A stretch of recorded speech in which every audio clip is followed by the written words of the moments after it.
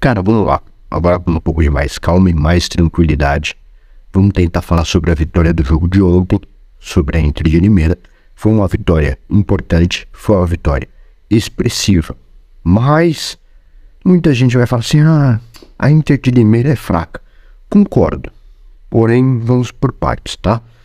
Antes de mais nada, não esquece, vai lá, me segue, curte o vídeo, compartilha aí com a rapaziada. A nossa meta é chegar a pelo menos 3 mil aqui na rede, beleza? Sobre a Inter de Limeira, ela é fraca, ela não é? Então, é assim, não é a mesma qualidade, com todo respeito, a Inter de Limeira não é a mesma qualidade que São Paulo. Isso é um fato.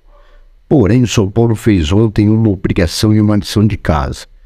Quando a gente pega times menores, de menor expressão, a gente tem que golear. O São Paulo tem que se impor.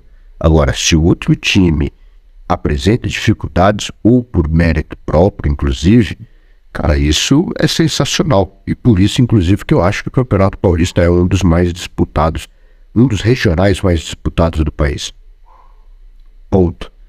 Agora, São Paulo não fez mais do que obrigação? De fato, não fez. E fez bem a obrigação. A, a lição de casa 5 a 1 com dois golaços que tá rodando aqui para vocês enquanto eu tô falando.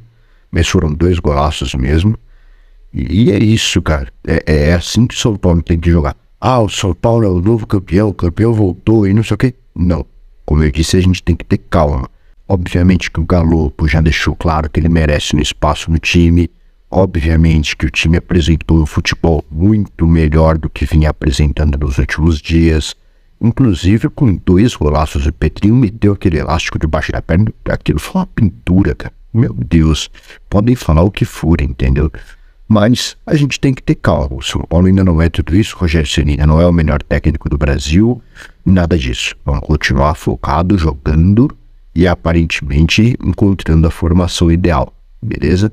Não esquece, me segue, deixa o coraçãozinho. Esse vídeo foi mais sério porque é uma análise do jogo. Mas os videozinhos engraçados e as respostas a gente ainda vê por aqui. É nóis.